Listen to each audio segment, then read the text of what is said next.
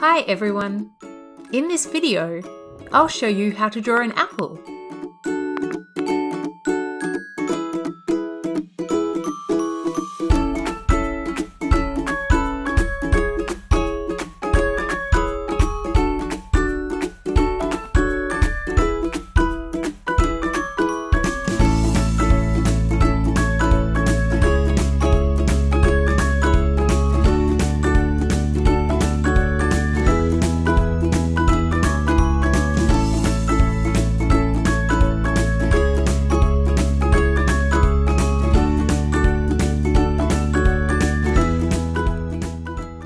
Please click on the thumbs up button and subscribe to the channel.